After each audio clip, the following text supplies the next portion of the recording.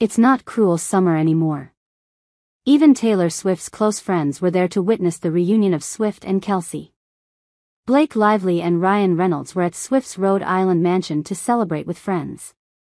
The famous Hollywood couple, who just released the blockbuster Deadpool and Wolverine, shared a passionate kiss. Behind the blooming flowers at Swift's mansion, when Lively just stepped out of the pool, Ryan was there in time to give her a passionate kiss. It seems like they were ready to go. Because people saw Ryan with a backpack on his shoulder. That shows that the group might be going to the public beach to enjoy the waves. But the moment the couple shared a kiss and looked at each other lovingly was overshadowed by the fact that after more than a month apart, Taylor Swift and Travis Kelce reunited in Rhode Island, where they were photographed on the balcony of her stunning High Watch home, the most expensive property in the state. Photos obtained by TMZ show Travis, now with longer hair, in a white tank top, and Taylor in a bikini top and shorts.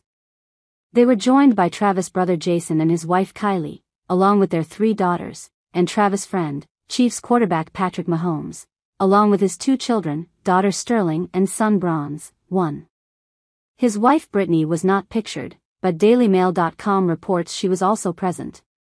Taylor and Travis have been apart since July 17, when he was last seen at the Eras tour in Germany. He then returned to Kansas City, where he is preparing for the upcoming NFL season against the Kansas City Chiefs, with the first game of the season set for September 5. Meanwhile, Taylor wrapped up the European leg of her Eras tour with five shows at Wembley Stadium in London, but she also felt scared and guilty after being forced to cancel three shows in Vienna, Austria, when authorities foiled a planned terrorist attack. Breaking her silence after returning to Nashville, Taylor wrote on Instagram, going on stage in London was an emotional roller coaster.